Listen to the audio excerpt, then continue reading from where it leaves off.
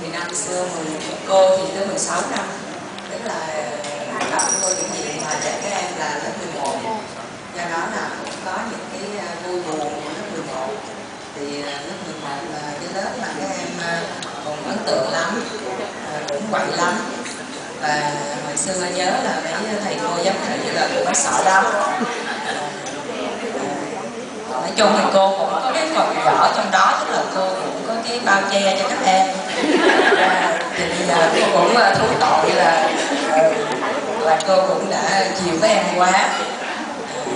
Nhưng mà nói chung thì các em cũng ờ, cũng lớn và cũng trưởng thành. Và bây giờ thì cái nào cái thấy cũng có vai có vế hết.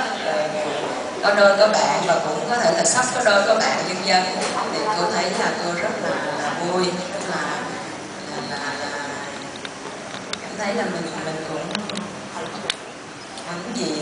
có một cái tập thể lớp mà đến từ uh, có những cái có những cái uh, cái tình cảm mà trong kỷ yếu của mình đó. Thì các em lưu giữ cho tới bây giờ và các em ờ, luôn là gắn bó với nhau và kể cả các bạn ở nước ngoài và các bạn ở trong trong nước. Là cô thấy là hôm nay cô